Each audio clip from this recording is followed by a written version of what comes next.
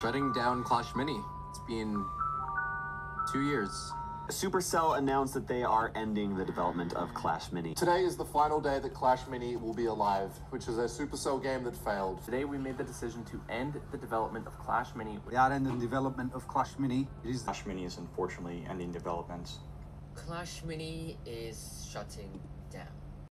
Three months after Clash Mini was deleted, there are barely any news or remnants about the game. Clash Mini players, they started a private server named Clash Mini Reborn and they're trying to upkeep the players inside of a server where there are no updates and no new things.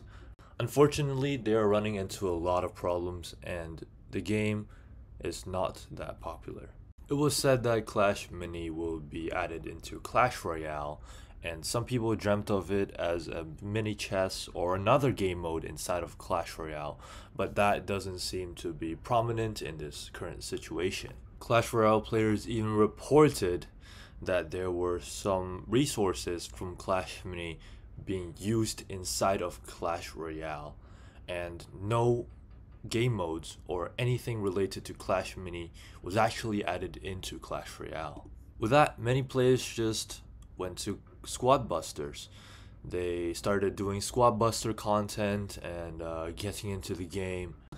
So about two weeks after Clash Mini was closed, we were announced with Tricky Tactics, which is not made by Supercell, but uh, it's an indie game. So it's developed by the Russian players at Clash Mini, and they recruited some art, um, some I don't know, game makers, all those things, and they come together and make a game like Clash Mini, but not completely copied. Something like Boom Arena completely copied Clash Royale. We're not going for that sense. We're going for somewhat of a similar concept, the, the simple auto chess concept. So here you can see there's a board pick. Uh, this is Twitter or X, you call it. Um, we can see a board pick over here. There's some um, characters which you would call minis, and um, yeah, you can see their skills. And uh, I'll leave this link in the description. So here you can see the skills, yeah.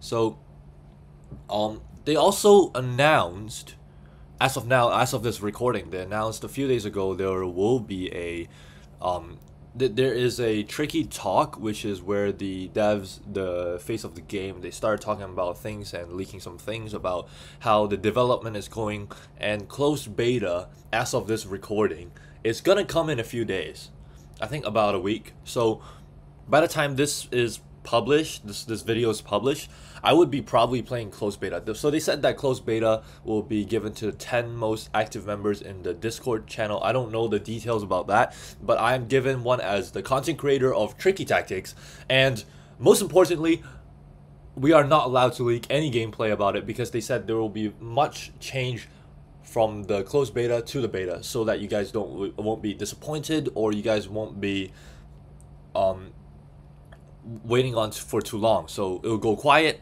for some time. They'll receive some feedback, and then the game will launch into beta. So be sure to keep up with the news in the Discord. I will also leave that in the link uh, in the description. I'll also leave this YouTube video in the description. And uh, this is it for the video.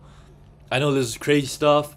Um, Tricky Tactic is actually coming out. Clash Mini getting killed. All this great stuff. You know what?